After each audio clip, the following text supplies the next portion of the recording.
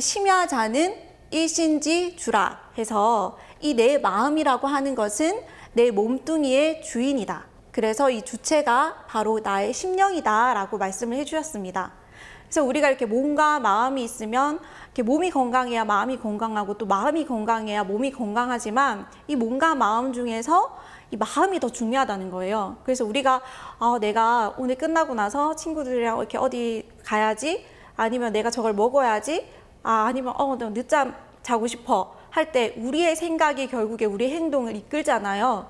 그런 것처럼 이 마음이야말로 나의 몸의 주인이다. 그래서 이 마음을 잘 갖는 것이 중요한데요. 이것을 또 물리학적으로 이 아인슈타인이 이야기를 하고 있습니다.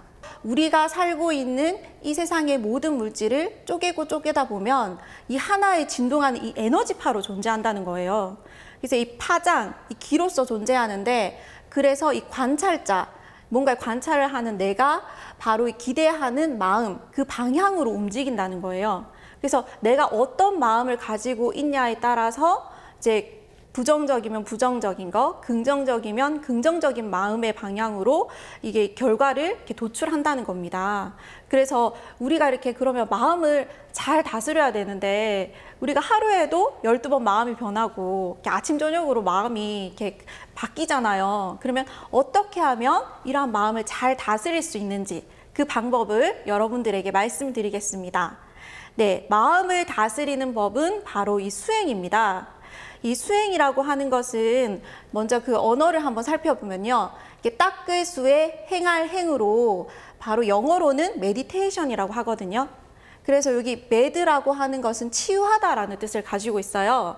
그래서 우리의 몸과 마음을 치유하고 그리고 이렇게 치유한 이제 그러한 몸과 마음을 바탕으로 이 진리대로 실천을 해서 우리의 생활을 영위하는 것을 얘기를 합니다. 그래서 이 수행을 하면 우리 몸과 마음을 아주 깨끗하고 맑게 정화를 이렇게 시킬 수가 있거든요. 그러면 왜 우리가 꼭 수행을 해야 되는가? 여기에 대해서 종도사님의 말씀을 한번 읽어보겠습니다.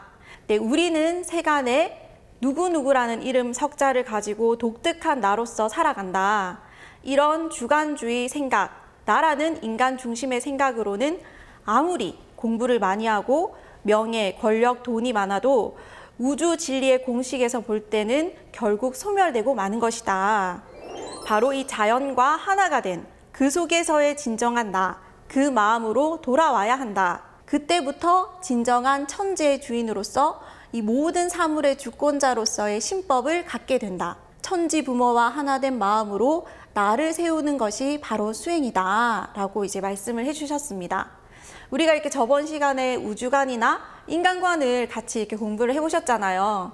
그래서 이 사람이라고 하는 존재는 바로 이 하늘과 땅을 형상해서 사람으로 태어났다는 거예요. 근데 이제 모습뿐만 아니라 하늘과 땅의 신성을 그대로 가지고 사람이 태어났다는 거죠. 그래서 인간이라고 하는 존재는 이 천지 부모와 원래는 하나된 존재였고 천지 부모의 마음을 득했던 존재였습니다.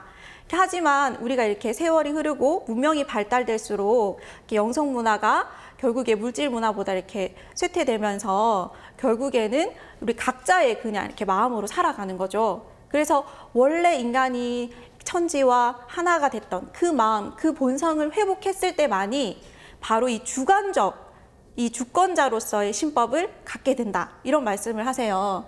그래서 외부적으로 오는 여러 가지 스트레스, 그런 장애들을 내가 그것을 잘 극복을 해서 더 밝은 그런 삶을 개척해서 나갈 수 있는 그런 힘이 생길 수가 있는 것입니다. 그래서 반드시 우리는 수행을 해야 되고 또 인간의 본성, 참모습을 깨닫기 위해서도 수행을 반드시 꼭 해야 되는 것이죠.